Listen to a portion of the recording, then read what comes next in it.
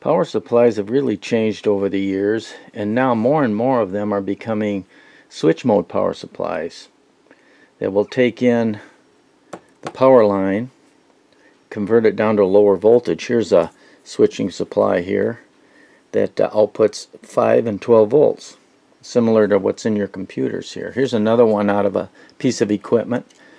Not sure what it was. I salvaged it. It still works. Has an output connector here. But anyway, problem with these is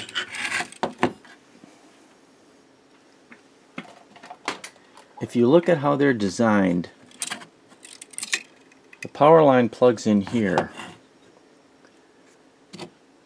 And you see this line here? This is the isolation line. From here over, this is reference to the power line. From here over, this is isolated from the power line. Except for, you got an optocoupler here, feedback, and also a cap here across. But basically, taking measurements on this side is perfectly fine. This side you have to be really careful because you have a ground reference to the power line. And if you don't do this right, um, you got to remember who's out to get you. That's right, Reddy Kilowatt. So how do you measure? Now on this side also here, if you look, here's the power side, here's the isolation, line side here and the isolated output side here. And basically the way these work, they take the power line, they go through some filtering, uh, common mode choke, it's rectified.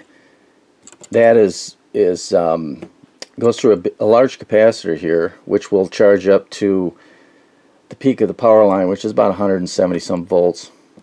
And then generally what they do is they'll switch a large device, either a MOSFET or a transistor, that will switch that voltage through a transformer at a high frequency and this can be upwards of 20 kilohertz higher up to even half a megahertz and then the output of that is uh, rectified filtered and that's your output.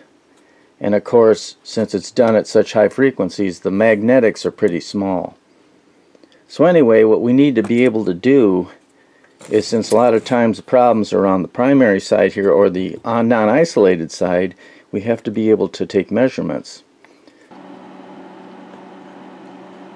Something I've seen people do, and a lot of guys used to do in the olden days, was they would float the scope. They would remove the ground lead where it plugs in the wall, which is pretty dangerous thing to do because um, basically um, if you connect your ground lead up to the line instead of the neutral, you're basically, the frame of the scope is going to be um, at line potential. It's a electric electrocution hazard. So that's a no-no. Although I've seen them do it in the past. Another thing uh, that works is if you uh, use two probes. Of course you need a two channel scope to do it. And you go into the add mode and then this will add channel 1 and 2. And then if you invert channel 2 and set both channels to equal deflection factors, you'll measure the difference or basically subtract both channels. And then you can measure two points without uh, the ground reference. Of course, you want to, like I say, you want to make sure you take the ground clips off of the probes to do that. So that's another option. Another thing you should really do is use an isolation transformer. Another thing I've done in the past, picked up one of these. This is a small battery powered oscilloscope. Completely isolated from the line. The only thing you have to be careful is the barrel of this BNC, depending on where you're connecting your your ground lead, this could be a danger. This this accepts a regular scope probe, but anyway, this is completely isolated. It runs on lithium batteries. So that's another option you can use.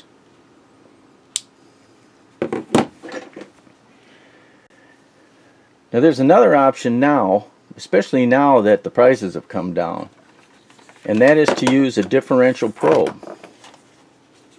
And here's one I just picked up.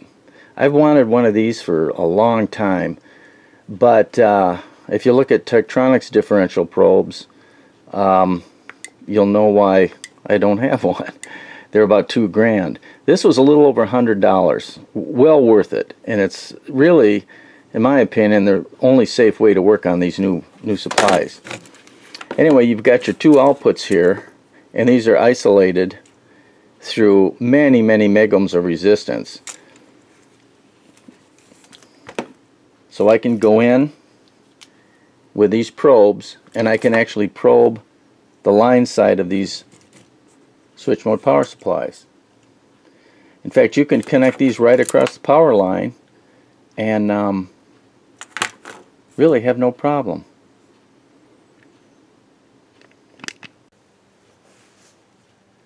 Another nice thing about these probes is they have replaceable tips on them. You can connect grabbers like this.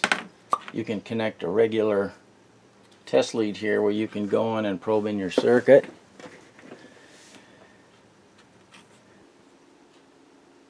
Here's something you wouldn't want to do with a regular oscilloscope. I've got the two probes connected directly across the power line. No isolation transformer, directly connected across the line. And if you look at the display here, of course one thing you have to do is make sure that your probe is set to the type of probe you're using. Now I'm on the uh, times 500 on the differential probe so I have to set my probe to 500. So now I'm reading 122 volts RMS 59.9 cycles. Peak to peak is 350 volts. 350 volts peak to peak. So that's one of the nice things about um, these probes.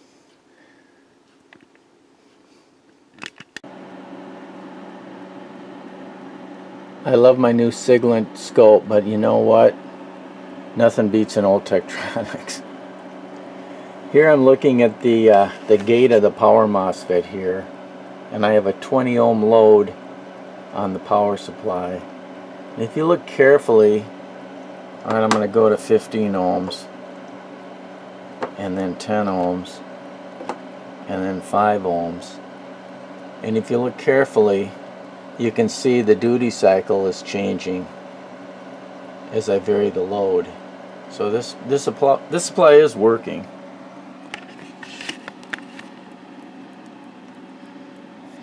This is the other supply and um, using the differential probe I'm measuring between the negative and the terminal on the transformer that's being driven by the uh, FET. And if you look at here at the scope okay I'm going to add a load. I'm rolling the response right now but notice the change. Now I've lit up now I connect the load. Now I've released the load. This is a 20 ohm load. And you'll notice that, okay, this is open circuit. You'll notice how the duty cycle of this signal is changing with the varying load conditions.